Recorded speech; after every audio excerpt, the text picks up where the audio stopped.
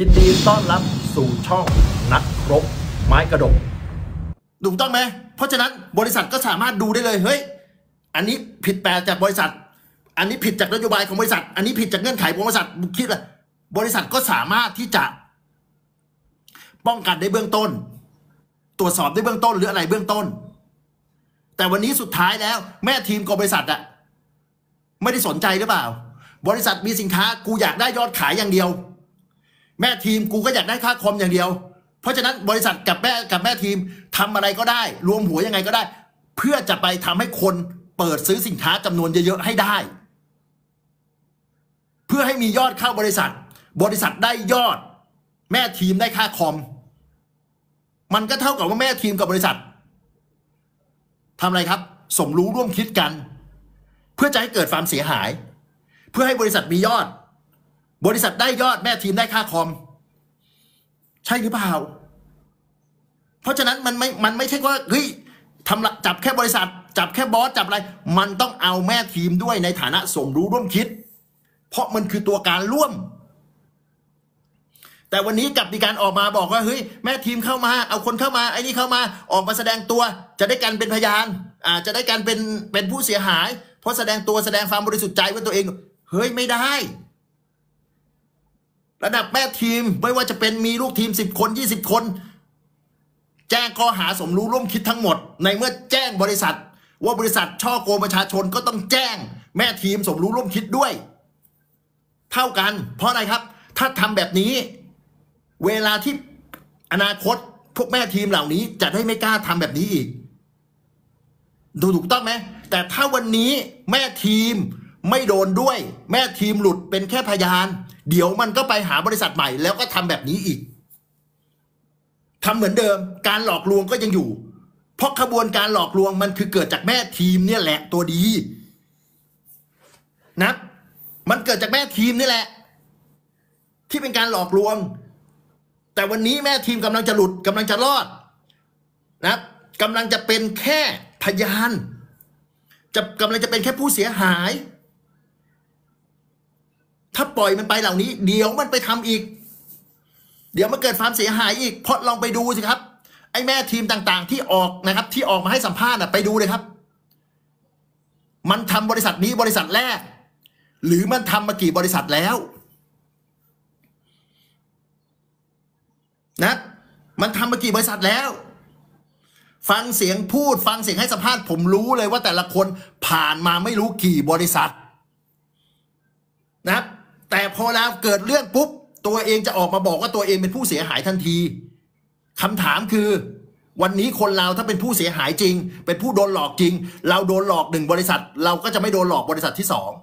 แต่คำถามคือมึงผ่านมากี่บริษัท มึงผ่านมากันกี่บริษัท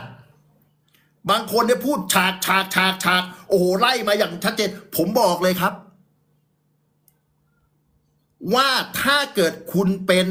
ผู้เสียหาย คุณจะไม่สามารถเล่าเหตุการณ์อะไรได้หลายอย่าง คุณรู้แต่เพียงอย่างเดียวว่า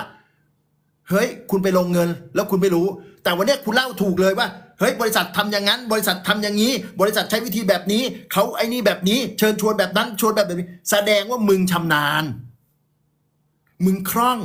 มึงตีโตดบริษัทแตกว่าทำยังไงถึงจะได้เงินค่าคอมจากบริษัท อะมึงพูดได้เป็นฉากฉากจ่อยจ่อยจ่อยจ่อยนะครับ รับประกันได้ครับ มึงไม่ใช่ธรรมดา นะครับ มึงไม่ใช่ธรรมดานะครับ และเชื่อนะครับ คนที่ออกมานะครับ รายการต่างๆ ทุกรายการที่ออกมาเนี่ย แต่ละคนเนี่ยผมบอกเลยเลยครับ ไม่มีทางทำบริษัทแรกคือบริษัทดีไอคอนทำมาไม่รู้กี่บริษัทแล้ว แต่พอเกิดเรื่อง ผู้เสียหาย โดนหลอก ผู้เสียหาย โดนหลอกเพื่อให้ตัวเองรอด สุดท้ายคนเหล่านี้ ก็ไปหาบริษัทใหม่ แล้วทำใหม่เหมือนเดิมนะไปหลอกไปไอ้นี่เหมือนเดิม ให้เขามาซื้อสินค้าจำนวนเยอะ เพราะเขาซื้อสินค้าเยอะตัวเองได้ค่าคอมเยอะ เพราะฉะนั้นไอ้คนที่บอกว่า แม่ทีมได้ค่าคอมผิดอะไร ผิดตรงที่ว่าวันนี้ คุณไปหลอกให้เขาซื้อของเยอะๆเพื่อคุณจะได้ค่าคอมเยอะไง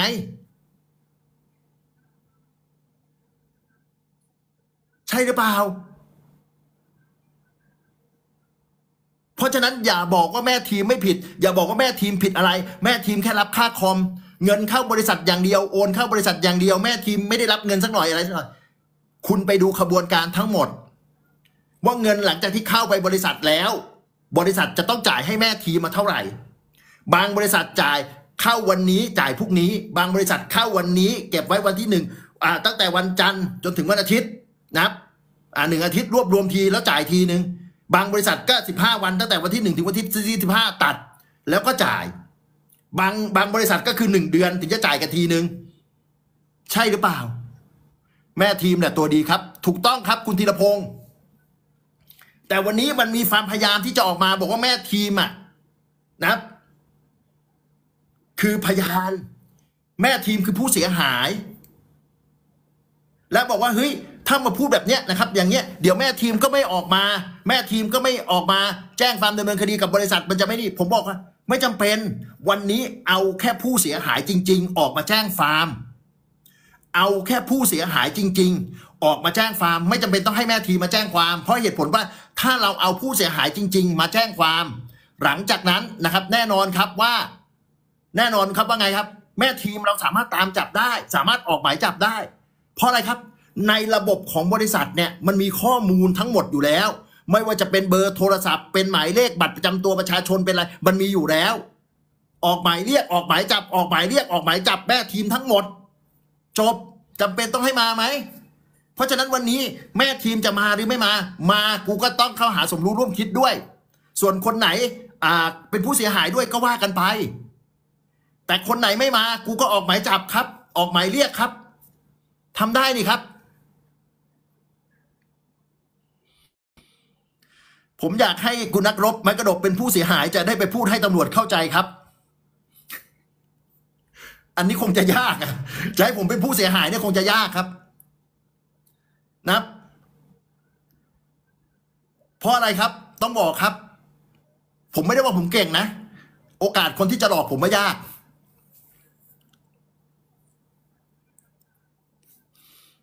นะ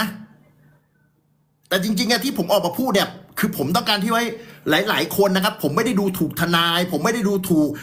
รายการดัง ๆ นะครับ แต่เขาอะพูดไม่ตรงจุด พูดไม่ตรงประเด็น พูดไม่ตรงปัญหา ตอนนี้เข้าใจครับ ทุกคนจะมุ่งไปอย่างเดียวครับ ว่าจะดำเนินคดีกับบริษัทบริษัทอันนั้นถูกต้องครับ แต่คุณจะดำเนินคดีกับบริษัทอย่างเดียวไม่ได้ คุณต้องดำเนินคดีทั้งขบวนการ แต่วันนี้คุณพยายามจะปกป้อง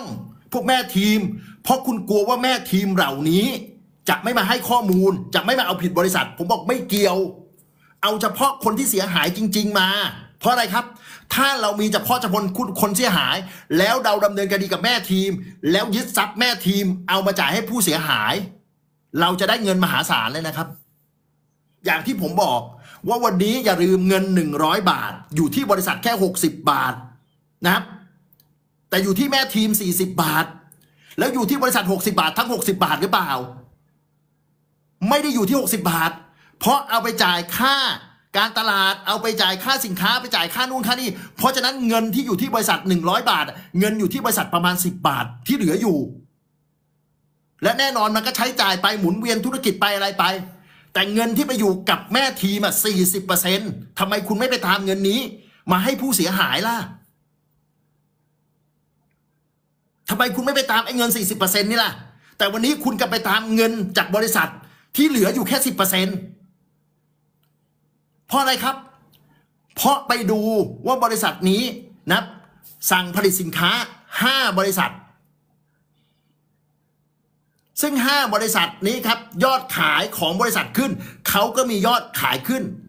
แสดงว่าบริษัทดีไอคอนก็จ่ายเงินให้กับบริษัทผลิตสินค้า แล้ว ดีไอคอนจ่ายเงินให้กับบริษัทผลิตสินค้า คุณจะไปเอาเงินจากบริษัทผลิตสินค้ามา ว่าเขาทำผิดกฎหมายได้ไหม ไม่ได้ เพราะไม่เกี่ยวกัน เพราะบริษัทดีไอคอนจ้างผลิตสินค้า เขาก็ผลิตให้ ส่วนบริษัทดีไอคอนจะเอาสินค้าไปทำอะไร ไปทำผิดกฎหมายหรือเปล่า